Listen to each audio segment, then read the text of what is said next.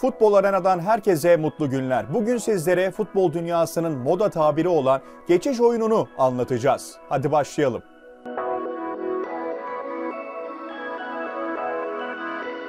Geçiş oyunu aslında yeni bir kavram değil. 2010'lu yılların başlarında futbol literatürüne giren bir terim. İngilizce'de transition play olarak bilinen bu terimi Almanların icat ettiği düşünülüyor. Gözümüzün önüne getirmekte kolay somutlaştırmak açısından kulübün çalıştırdığı Dortmund bir geçiş oyunu takımıydı aslında. 2005 ile 2014 arasında İspanya ve Barcelona tiki taka futbolunu benimsemiş ve uzun yıllar dünya futbolunda bu sistem oturmuş haldeydi. Ama Almanların bu icadı Barcelona'nın ortaya koyduğu futbol sistemini neredeyse çürütmüş vaziyette. Xavi Iniesta'lı İspanyol yıldızların aksine amaç burada çok fazla topa sahip olmak değil.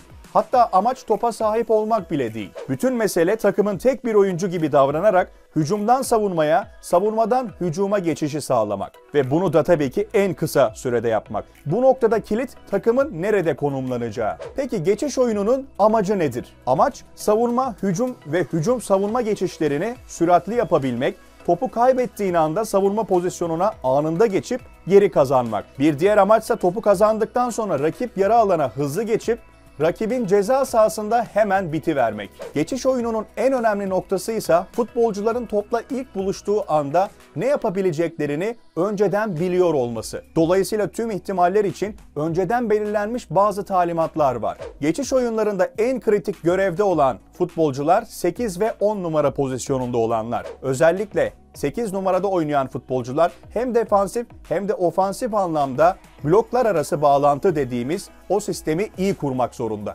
Geçiş oyununda 8 numaralı futbolcuların önemi bu açıdan çok kritik. Ayrıca karşı takımın az adamla yakalandığı anlarda top dağıtımında ve pas tercihlerinde 8 numaralı futbolculara büyük görev düşüyor. Bu sistemi teknik kapasitesi yüksek olan oyuncularla oynamak daha kolay. Sadece uzun topla ilerideki bir oyuncuyu topla buluşturmak yerine doğru pas tercihleriyle nihai bir skor bulmak gerekiyor özellikle presin arttığı bölümlerde soğukkanlı kalıp pozisyonları doğru bitirmek en önemli noktalardan biri. Geçiş oyununda özellikle kalecilerin de bir rolü var. Özellikle korner atışları sırasında kaleci topu aldıktan sonra kalecilerin hızlı bir şekilde topu oyuna sokması geçiş oyununun aslında birincil özelliklerinden biri. Ülkemizde ise geçiş oyunu denildiğinde akla gelen en önemli isimlerden biri Trabzonspor Teknik Direktörü Abdullah Avcı. Abdullah Avcı geçiş oyunuyla alakalı Başakşehir döneminde bir soruya cevap vermişti.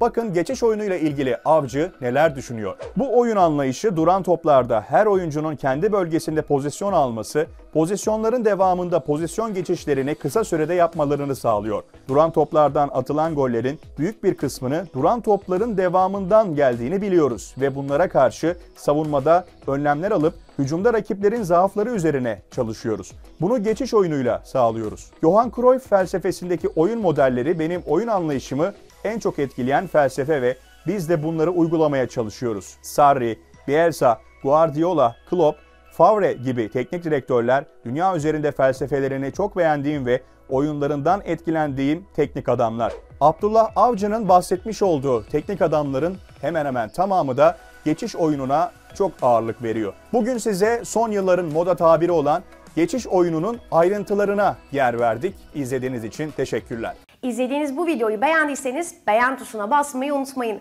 Ayrıca içeriklerimizden haberdar olmak istiyorsanız abone olup bildirimleri açabilirsiniz.